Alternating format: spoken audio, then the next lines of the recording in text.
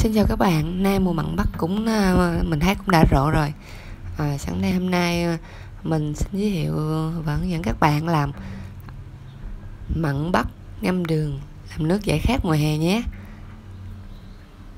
Mời các bạn cùng xem mình ạ. À.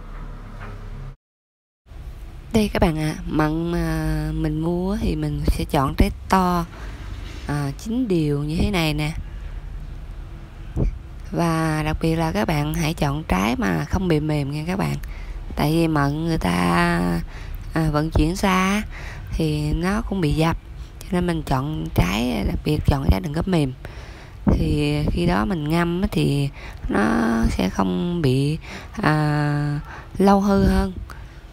Đây mình chọn trái to nè chín đều luôn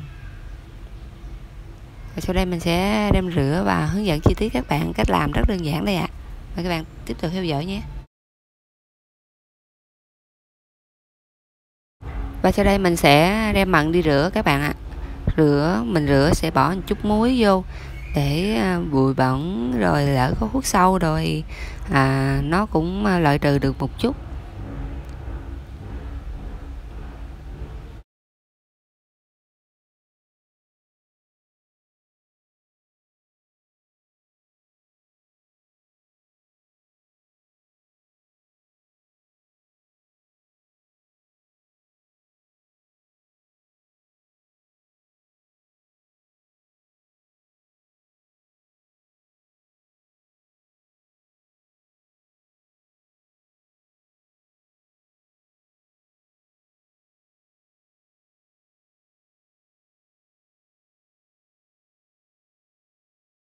và sau khi rửa xong thì mình sẽ sắc mặn ra các bạn ạ.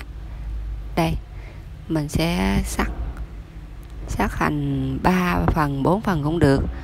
Mình không cần à, à, tách hột ra đâu. Mình sử dụng hột mình ngâm luôn cũng được không sao. Đây à, mình sẽ cắt như thế này nè. Cắt hết ra.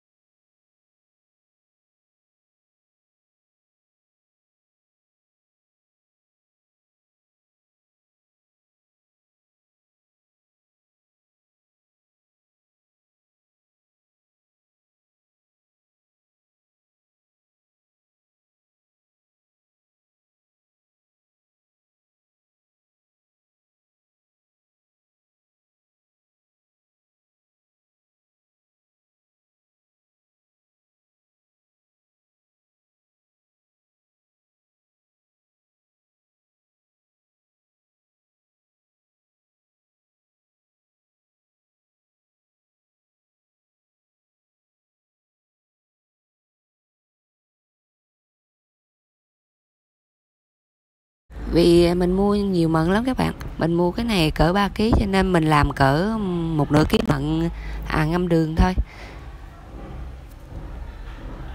Đây, mình đã cắt xong rồi các bạn. Tiếp theo mình sẽ à, mình sẽ cho đường vào. Và với công thức là nửa ký mận thì với là 200 g đường cát và tùy theo cái uh, mình thích uh, khẩu vị của mình nữa mình thích uh, chua hay ngọt nhiều thì mình có thể thêm một chút đường nữa. Còn nếu mình không thích ngọt nhiều thì mình có thể bớt ra một chút. Nhưng mà theo mình làm thì cứ nửa ký mận ký gram mận thì à, mình sẽ sử dụng 200 gram đường. Đây. Và mình sẽ trộn đều lên cho mận và đường thấm với nhau sau đó thì à, đường và mận mình trộn đều lên như thế này. Đây mình trộn đều như thế này. Mình sẽ bỏ ở à, trong tủ lạnh à, khoảng 2 giờ đồng hồ cho đường và mận nó um, quyện vào nhau. À, đường nó cũng tan một phần chứ là mận mình bỏ trong tủ lạnh á nó sẽ không bị à, ê nó bị mềm á. Khi khi mình như thế bỏ tủ lạnh như thế thì mận khi mình bỏ vào hũ rồi đó thì nó sẽ không bị à, lâu bị mốc á lâu bị à, nổi bọt. Ở đây mời các bạn xem tiếp nhé.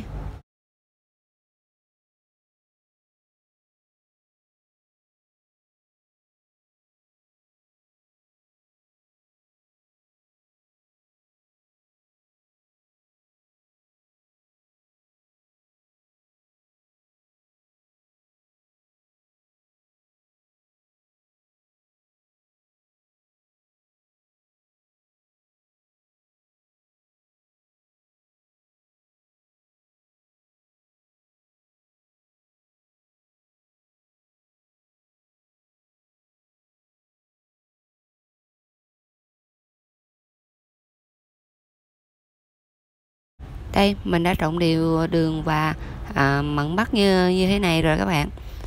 Thì mình sẽ bỏ vào tủ lạnh 2 giờ đồng hồ mình sẽ lấy ra. Ở đây à, sau khi 2 giờ mình bỏ trong tủ lạnh bây giờ mình lấy ra. Và mình cho vào hũ thủy tinh. Mình phải sử dụng bằng hũ thủy tinh các bạn ạ. À. không sử dụng ờ, hũ bằng mũ nhé. Tại hũ bằng mũ thì nó có chất nhựa đó. À, mình để lâu không tốt có chất độc trong các à, cái nhựa nó sẽ ra. Mình sẽ ăn sẽ không tốt cho sức khỏe cho nên mình sẽ sử dụng hũ bằng thủy tinh. Đây mình sẽ cho hết à, mận đã bò đã để trong tủ 2 giờ. Này bây giờ thì đây các bạn xem đây nó đã tan đường ra rồi các bạn. Nó cũng thấm vào mận rồi. Bây giờ mình chỉ để vào hũ thủy tinh nữa và bảo quản là ok rồi các bạn à rồi cứ như thế mình cứ mỗi lần khi cần dùng á mình múc ra ly một chút nước nước đường và mận nó ra rồi đó và một chút mận bát vào ly và cho vài viên đá là mình có thể dùng được rồi các bạn. Và đây sẽ mà là đây là mình đã hướng dẫn các bạn cách làm à, mận bắt ngâm đường à, để bảo quản à, lâu à, để sử dụng à, lâu dài nhé cảm ơn các bạn đã theo dõi, like, share và đăng ký kênh ủng hộ mình nhé. Cảm ơn các bạn ạ. À. ba tạm biệt các bạn ạ.